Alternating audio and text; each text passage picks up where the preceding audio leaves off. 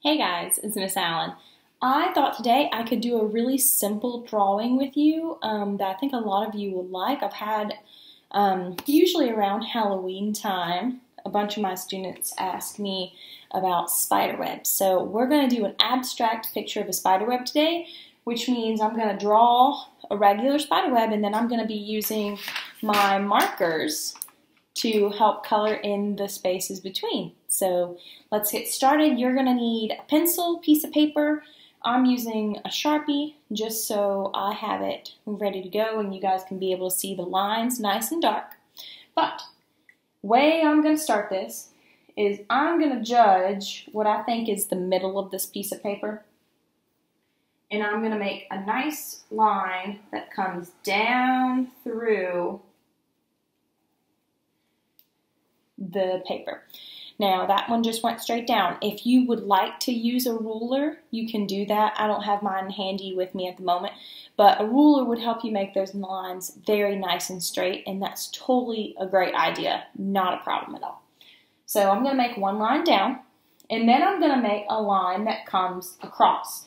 Again, I'm going to try to find the middle of my paper and come across, but if it's not the dead center of my paper, it's not going to be a big deal. It'll still look like a spider web if it's a little off center or anything else. Nothing's perfect, so it's okay.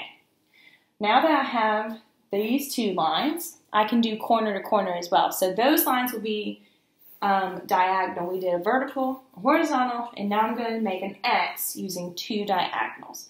So top corner on the left to the bottom corner on the right.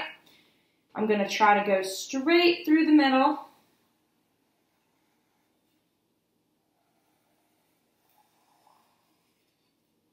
And then I'll do the same thing on this side, starting here, going across, go through the middle.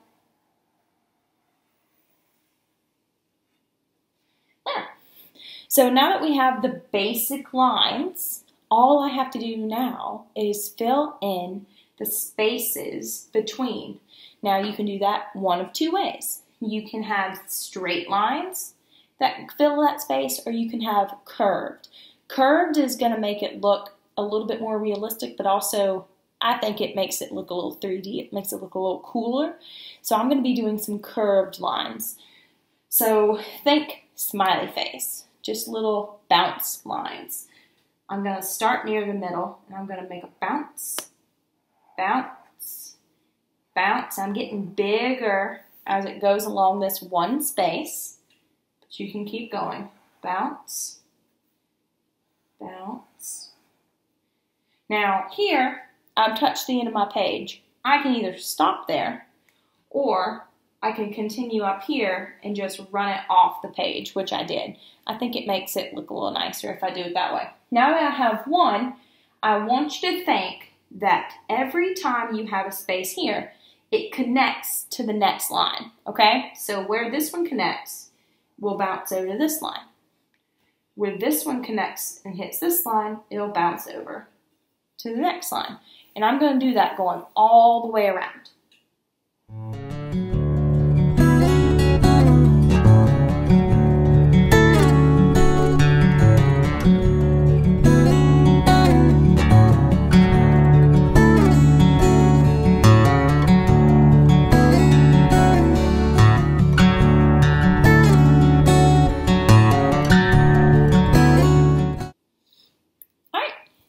I have that done, I can go ahead and get started coloring.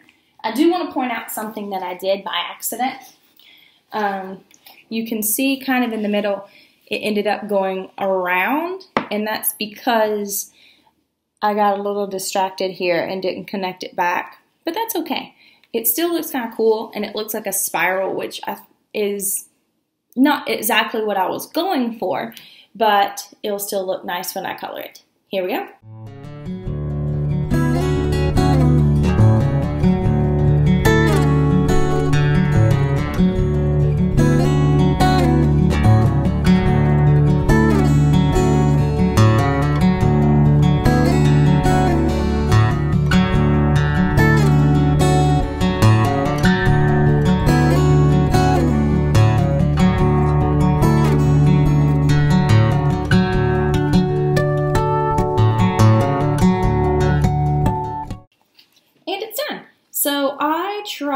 To just kind of play with that spiral that I had going on.